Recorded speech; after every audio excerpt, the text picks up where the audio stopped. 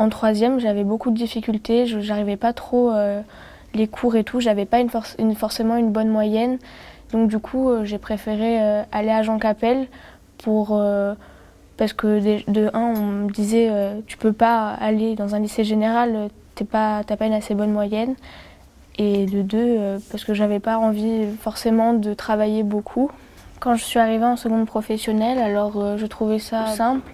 Et puis euh, les stages aussi, euh, ben, je les faisais, mais ça ne m'intéressait pas forcément.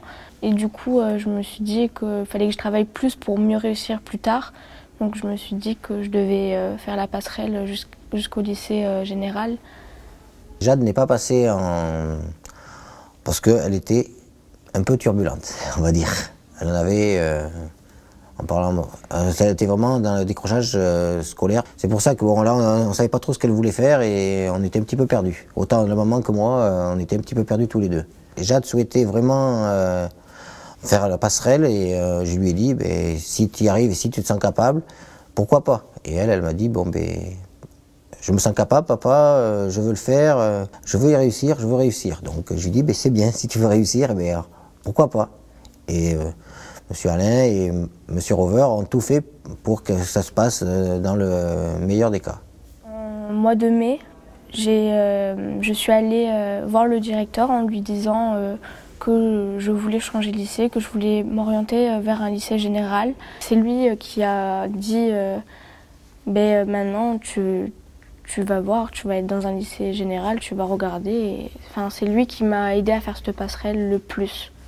L'intérêt d'une passerelle est de proposer à l'élève, qui est souvent sur un côté de la rive, donc d'une formation en difficulté, de passer de l'autre côté en valorisant les acquis qu'il avait à l'origine et en lui permettant de rebondir dans la nouvelle formation.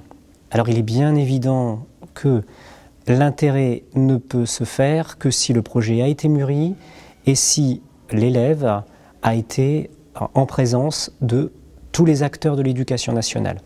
Puisque l'intérêt d'une passerelle, c'est aussi de s'assurer que de l'autre côté, l'élève aura une place et que, justement, il pourra avoir sa formation.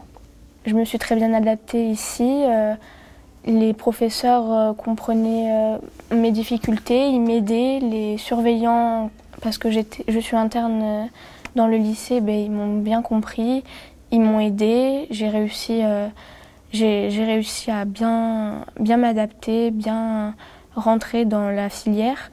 Tant que tu as un objectif, toujours le suivre parce que sinon, si tu te décourages aussi facilement, c'est sûr qu'on n'arrivera jamais à rien.